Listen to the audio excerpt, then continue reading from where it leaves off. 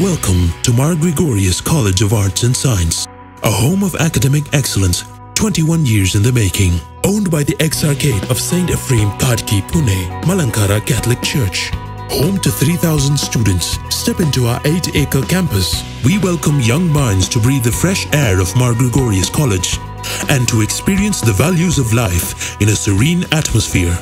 We are equipped and committed to meeting the physical, intellectual, social, and spiritual needs of our students.